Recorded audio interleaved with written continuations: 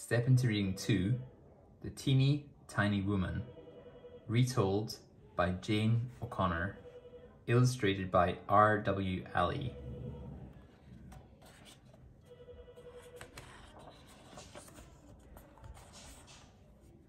A teeny tiny woman lived in a teeny tiny house.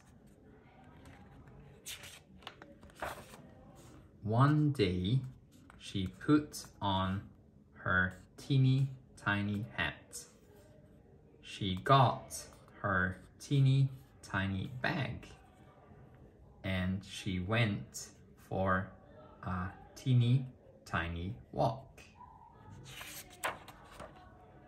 Soon, the teeny tiny woman came to a teeny tiny gate she opened the teeny tiny gate and went into a teeny tiny yard.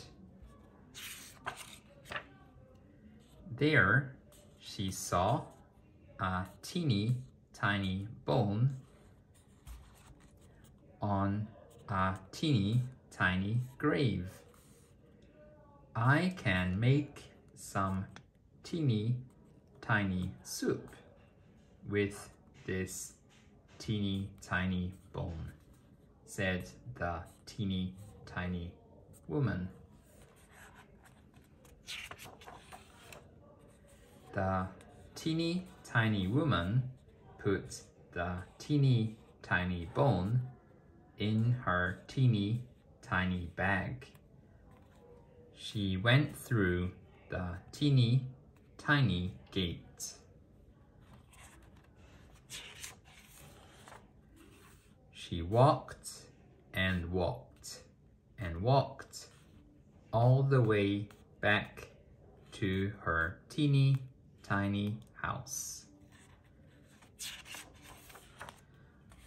The teeny tiny woman opened her teeny tiny door.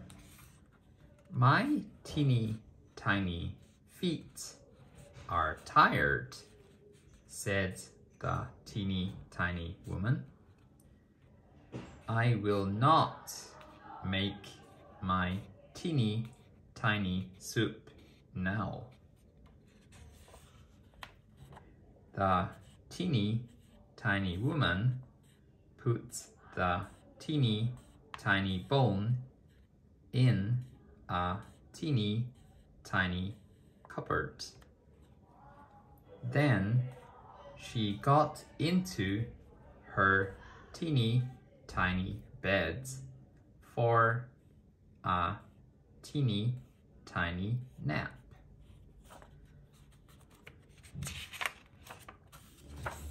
Soon, a teeny tiny voice called, Give me my bone. The teeny tiny woman was a teeny tiny bit scared.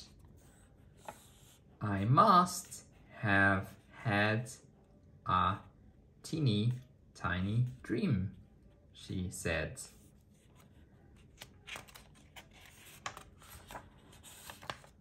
The teeny tiny woman had a teeny tiny glass of milk.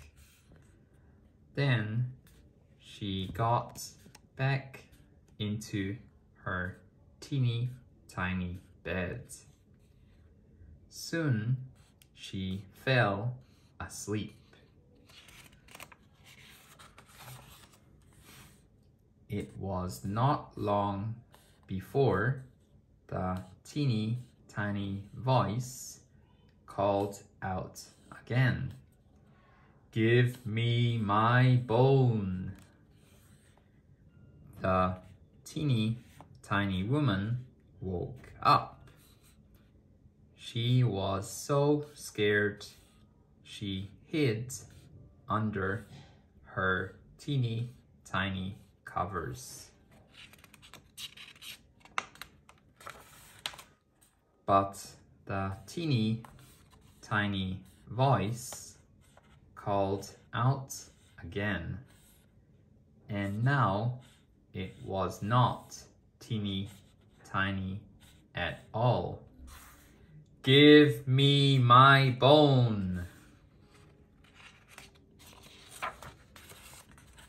The teeny tiny woman peeked out from her teeny tiny covers. She said, Take it! And that is the end of this teeny tiny story.